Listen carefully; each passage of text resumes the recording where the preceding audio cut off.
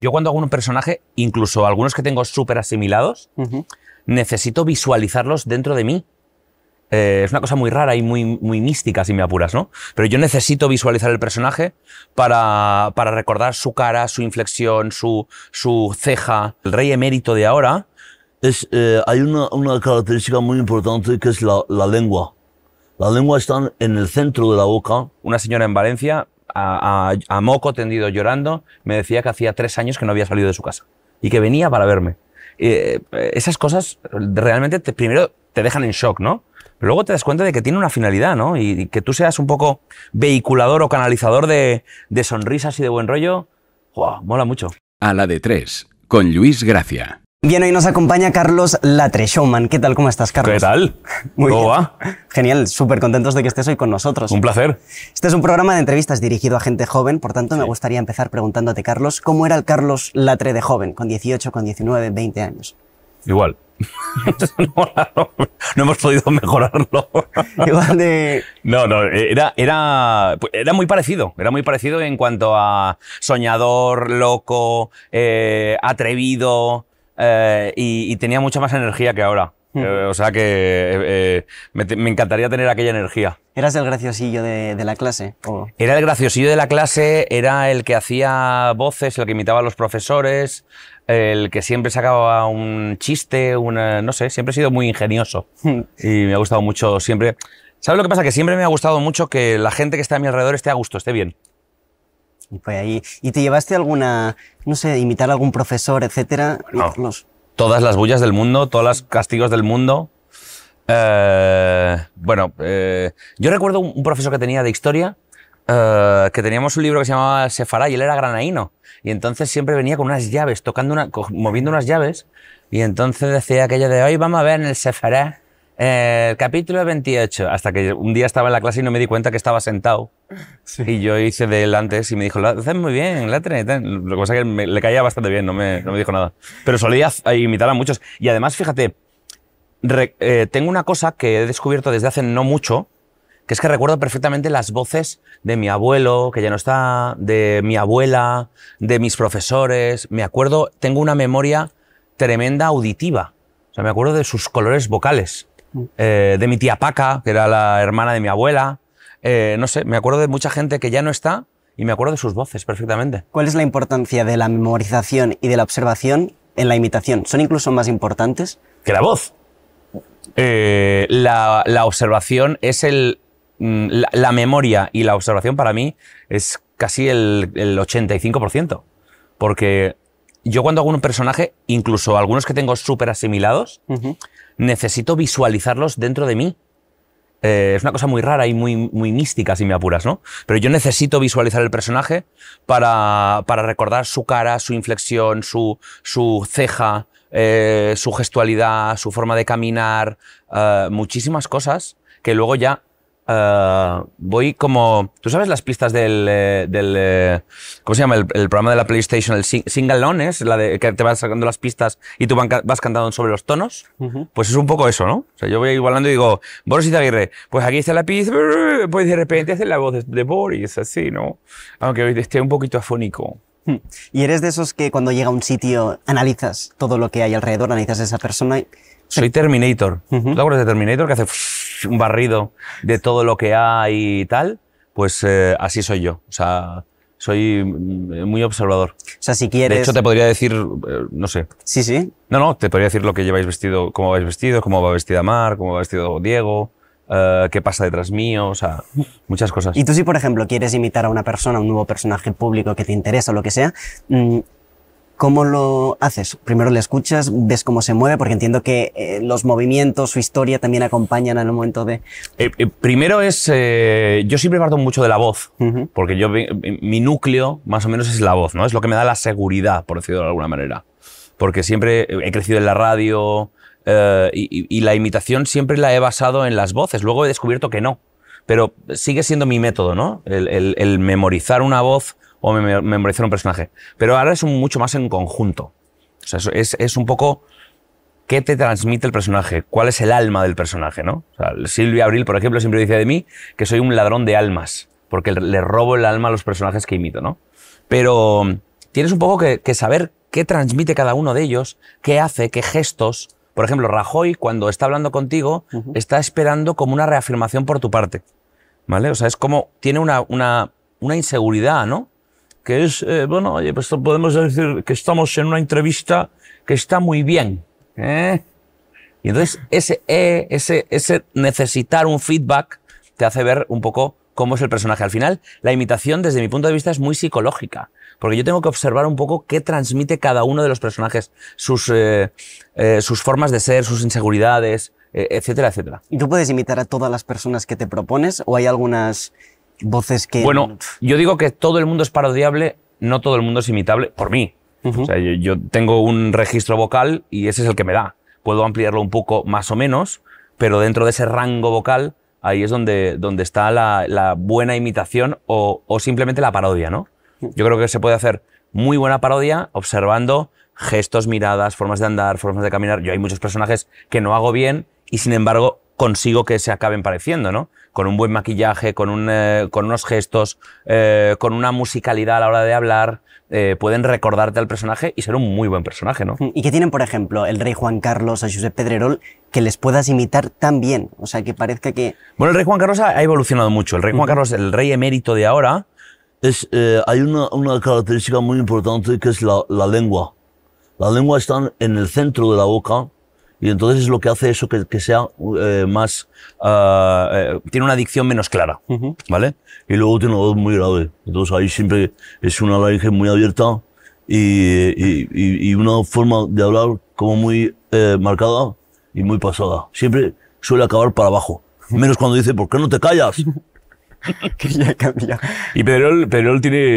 eh, es una voz también muy grave, tiene unas S muy características, eh, tiene. Es, es como siempre.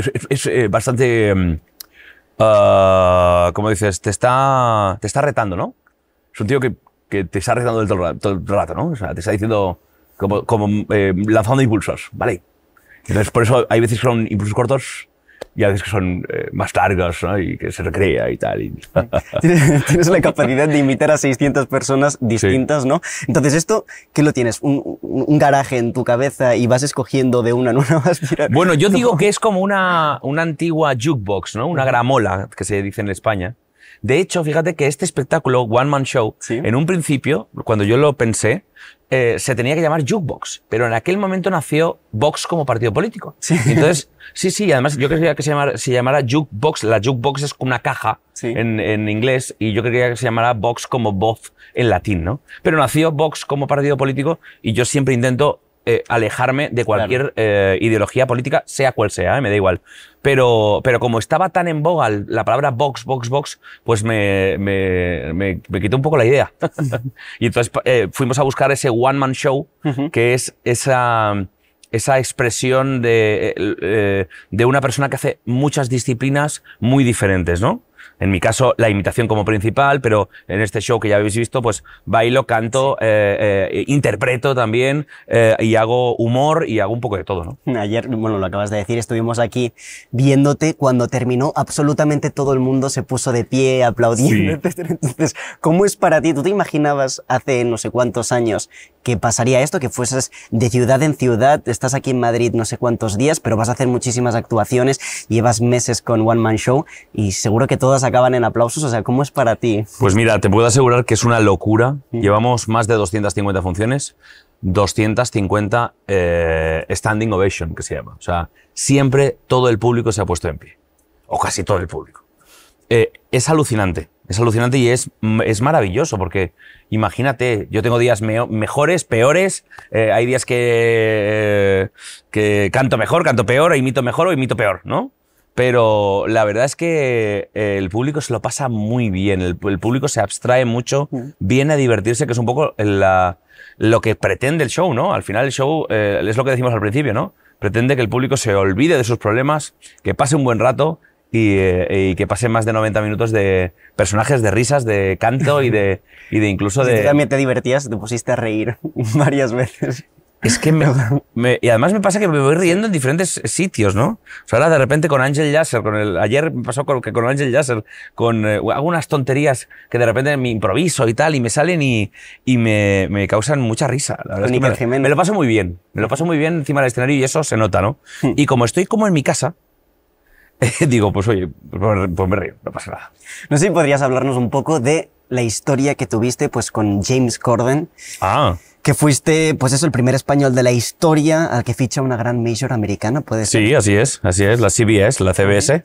Y encima, ni más ni menos con, que con mi eh, idolatrado y adorado y admirado James Corden, ¿no? que, que todos conocéis por el Carpool Karaoke, por el late night que hace en, en la CBS, ¿no?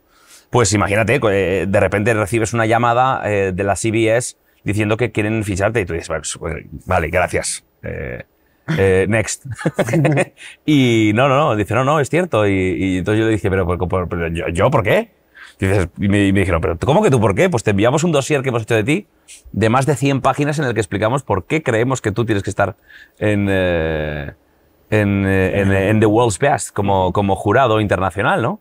Y me enviaron un dossier con, pues eso, con toda mi trayectoria, con todos los inputs a nivel de redes, con todos los, eh, eh, las idas y venidas, con, eh, incluso eh, había un informe en el que decía que yo había ab- abierto públicamente eh, y dicho públicamente que, que me había arruinado y que había vuelto a empezar y que, y que volvía a estar donde estaba.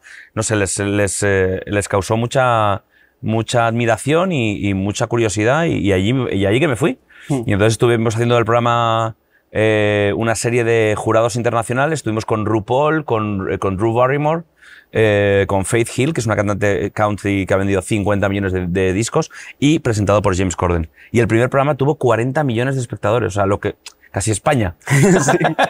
Y ahora has comentado lo del fracaso. ¿Y cu- qué les o sea, cuál es la importancia del fracaso para los Ellos, ellos conciben el fracaso como una oportunidad de volverte a levantar. Sí, sí. Y si, si, tú, eh, si tú te has caído, te has vuelto a levantar, te has vuelto a construir a ti mismo y sigues estando en el éxito y, y has vuelto a tener éxito, quiere decir mucho de ti, ¿no? Quiere decir que, que eres capaz de estar en lo más profundo, levantarte y ser un poco ave fénix y volverte a levantar. ¿no? O sea, que es que es eh, fantástico. Aquí en España, en cambio, el, el fracaso eh, se lleva de otra manera. Aquí somos más chafadores de cabeza.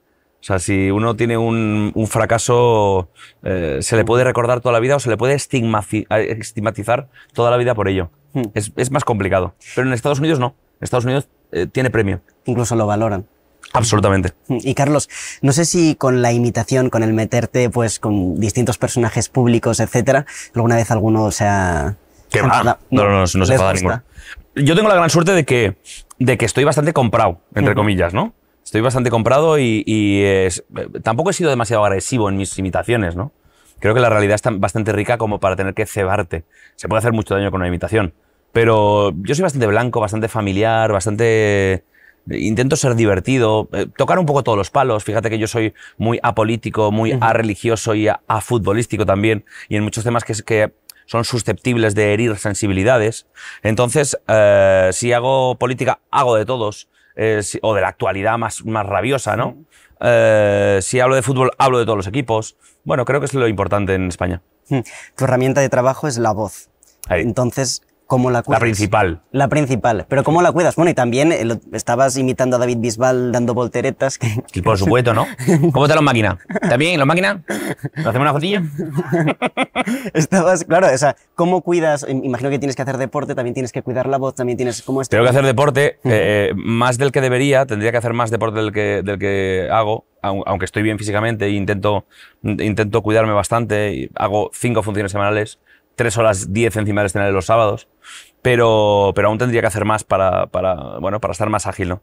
Pero eh, es un tour de force, ¿no? Al final tienes que hacer de bisbal, tienes que bailar con bisbal, tienes que hacer voltereta, eh, después tienes que hacer eh, eh, canto. es, es un show que digo yo, que muchas, muchas personas no lo, no lo entenderán, pero es un show muy diafragmático. Tienes que estar muy bien en cuanto a core, en cuanto a abdominal, porque el diafragma está todo el rato para arriba, para abajo, cantando arriba, abajo, tal. Entonces tienes que estar bien, porque los personajes te, te, te requieren eh, muchas diferentes técnicas a la hora de, de cantar o de bailar o de, o de interpretar, ¿no? Y de, y de imitar, por supuesto.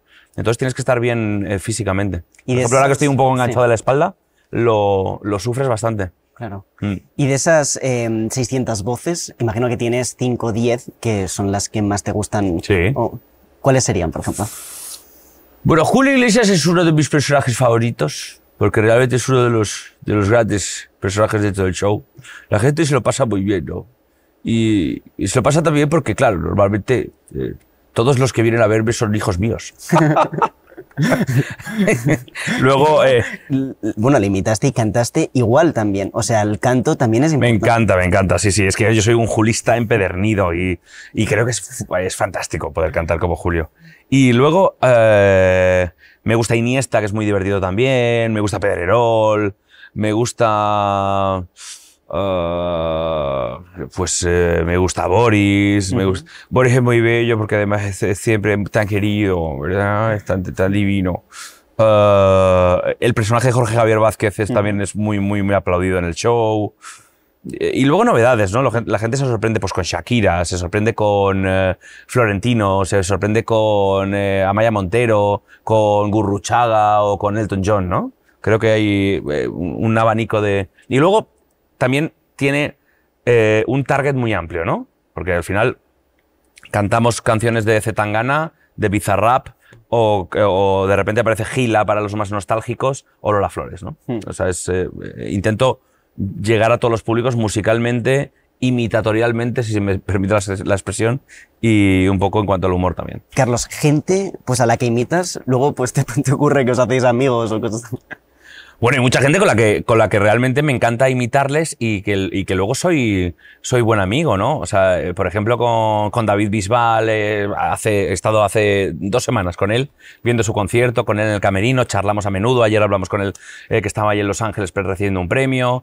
eh, eh, y es un tío fantástico, ¿no? Es un tío fantástico. Y, dice- y además él dice, dice, tú me imitas como yo hablaba hace unos años, pero ahora tienes que hacerlo más rápido, ¿no? Digo, bueno, entonces eh, enséñame a imitarte. Y entonces empezamos a imitar. Él se imita a sí mismo cuando, cuando era chaval. Luego con Andrés Calamaro siempre me dice, Hombre, pero Carlitos, si yo llego a saber que vos estás en el, en el escenario, yo dejo de cantar y, y subís vos. eh, no sé, con, con mucha gente, con mucha gente, con Serrat, por ejemplo, con Joan Manuel Serrat, tenemos un eh, grupo gastronómico en el que, en el que eh, eh, conversamos y hablamos y tengo la gran suerte de, de- de conocer a muchas de las personas a las que admiro y a las que a Julio Iglesias tuve la, eh, tuve la oportunidad de estar con él hace poco, hablamos, a- eh, eh, no a menudo, pero hablamos de vez en cuando y es siempre cariñosísimo conmigo. No sé, eh, he tenido mucha suerte en el sentido de, de tener contacto y de tener eh, amistad con muchos de los personajes con los que, que- a los que he imitado primero y luego conocido y luego me he hecho amigo. Y Carlos, ya para ir terminando, no sé si tienes alguna anécdota curiosa de estos miles de shows que has ido haciendo a lo largo de la vida. Bueno, sobre que Buf, anécdotas hay muchísimas. Muchísimas. Bueno, hay una anécdota que es buenísima, que es cuando vino Ferran Adrià a ver el show. Y cuando acabó el show, eh, me dijo, no, no, oye, eso, no, no, eh, eso es fantástico, ¿no? No. Entonces, tengo to- todas las voces, todas- y cuando, cuando me a mí, fantástico. Ahora, es que no se me entiende, ¿no? Dijo, lo haces muy bien, pero no, no se me entiende. Y dije, Ferran, esto no se te entiende muchas veces.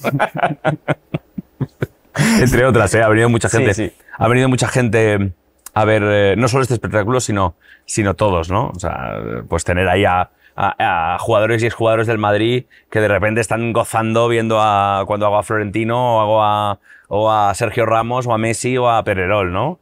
O, o, no sé, es que ha, ha venido muchísima gente y, y- y- ¿sabes lo, lo más bonito de todo esto? En el, el resumen que yo hago de One Man Show, después de más de 250 funciones, la cantidad de gente que me ha sorprendido diciendo que, eh, que habían venido al show para olvidarse de los problemas. Que una señora en Valencia, a, a- a moco tendido llorando, me decía que hacía tres años que no había salido de su casa y que venía para verme. Eh, esas cosas realmente te- primero te dejan en shock, ¿no? Pero luego te das cuenta de que tiene una finalidad, ¿no? Y, y que tú seas un poco vehiculador o canalizador de, de sonrisas y de buen rollo, ¡guau! mola mucho. ¿Cuál es la importancia del humor en la vida? Eh, lo digo al final del show, ¿no? Hmm. Que todo con una sonrisa es mejor. Es un filtro eh, muy bonito. Y ah, hay que aprender a reír. O sea, hay que enseñar al cerebro a reír. hay que reírse, aunque no tengas ganas cada día por la mañana, porque está psicológicamente comprobado que el cerebro, si tú te ríes, eh, aunque no tengas ganas, generas endorfina, serotonina y todas esas eh, sustancias que hacen que te sientas un poquito más feliz. Con lo cual, lo que digo siempre, pase lo que pase, no dejemos de reír. Bien, pues ya para terminar, no sé qué consejo, aunque medio lo has dado, eh, ¿qué consejo darías a toda la gente joven que escuche esta entrevista? Mira, eh, yo el consejo que les daría a todos los chavales y a todas las chavalas que, que nos están escuchando es que no tengan miedo. O sea, el miedo es el gran paralizador y el gran eh, enemigo de nuestra vida. Muchas veces no hacemos cosas porque nos da miedo, reparo, vergüenza. eh, em- em, pensamos, eh, prejuzgamos y decimos, no, es que me van a decir que no, no, es que no. Eh, persigue tus sueños, ves adelante, sé feliz, porque de, todo error o de todo eh, lo que no salga como tenías establecido, vas a aprender algo, vas a ganar algo. Con lo cual hay que lanzar- lanzarse siempre a la piscina. Siempre ir, hay que ir para adelante. Pero no los jóvenes, todos, pero los jóvenes especialmente. Tienes que buscar tus sueños, tienes que hablar contigo mismo, tienes que no tener miedo y ir para adelante, siempre. O sea que eh, valentía y que, y que no se preocupen por nada. Que todo el mundo, por mayores, pequeños o medianos que seamos, todos, todos tenemos miedos, todos tenemos mierdas y todos tenemos problemas y comedira- comeduras de tarro y que al final, pase lo que pase, nunca pasa nada. Bien, pues eso es todo. Carlos Late, de verdad que muchísimas gracias por haber estado este ratito con nosotros. Un placer y, eh, y nada, mucha suerte. Y que no dejemos de reír. Nunca. Si estás escuchando a la de 3, es gracias al apoyo de nuestros suscriptores. Vamos, únete a ellos para que sigamos creciendo y con ello el programa. Muchísimas gracias.